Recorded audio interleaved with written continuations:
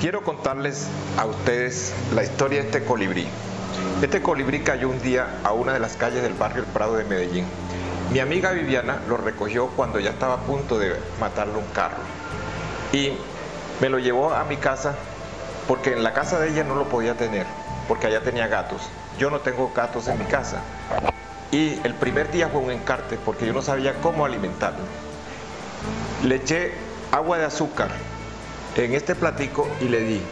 Pero resulta que se llenó las plumas cuando la canasta donde duerme, se pegó a la cobijita. Y me tocó bañarlo casi a las 10 de la noche. Me tocó ponerle lámpara para, para, para el calor, lo abrigué, lo sequé y ese otro día amaneció muy bien.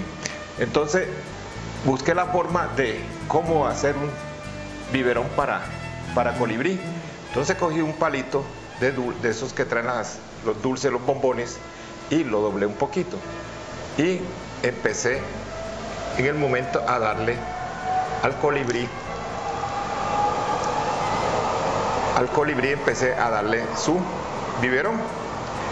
El biberón está, el alimento está compuesto de jugos de mango, revuelto con un poquito de avena y azúcar, bastante azúcar porque a ellos les gusta mucho el dulce. Y de ahí ya lleva 12 días en esta tarea. Ya está a punto de volar. Y antes que, vuele, quisimos hacerle este video porque él va a ser libre, como debemos ser libres todos en este mundo.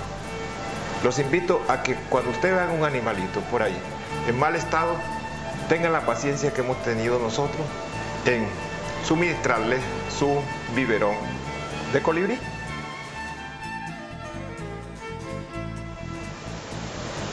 Ah, se me olvidaba.